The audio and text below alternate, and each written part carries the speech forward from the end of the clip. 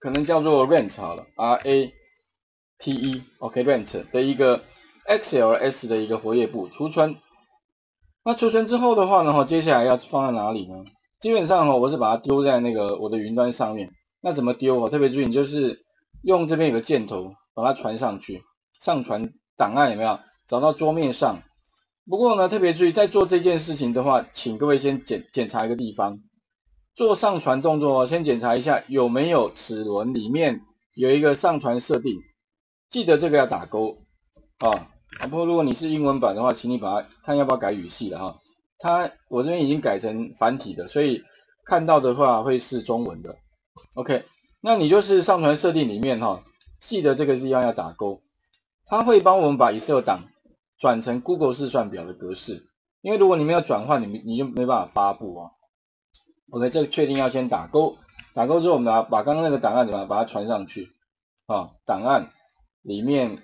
传这个档，哈，那传的方法就桌面上嘛，找到那个刚刚那个档案，它要 R A T E，对不对？哈，找到它这个位置，OK，这个按开启，OK，那传上去之后的话呢，上传并共用，OK，那传上去之后，这个时候呢，在你的云端硬碟里面就会看到有一个 rent 了，哈，因为本来有一个啦，不过你会发现哈，它的云端硬碟哈，重复的它没关系。好啊，你可以把旧的移掉了啊，比如说这个移掉。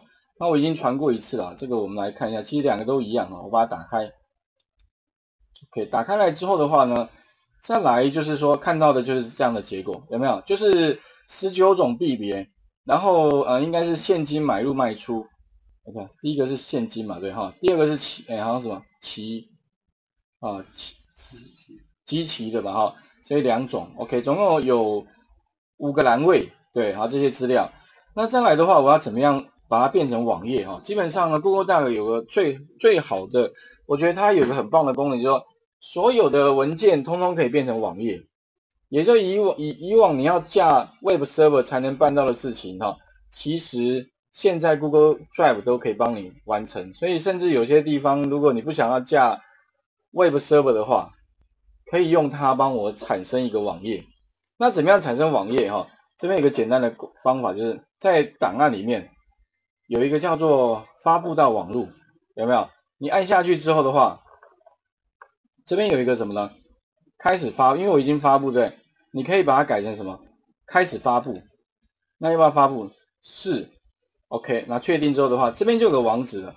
那这个网址呢，将来哈，如果你给人家的话，其实啊，在 PC 上面看到的就会是一个网页。而不会是 一个那个就试算表，它会是个网页。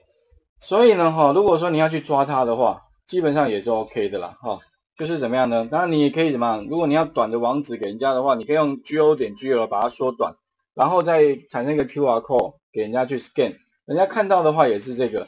但是如果你要做一个 app 去抓资料的话，第一个当然你可以怎么样？可以直接把它选取，嗯，我我们把它。直接看那个 source 部分好了哈，这边的话有一个呃原始码。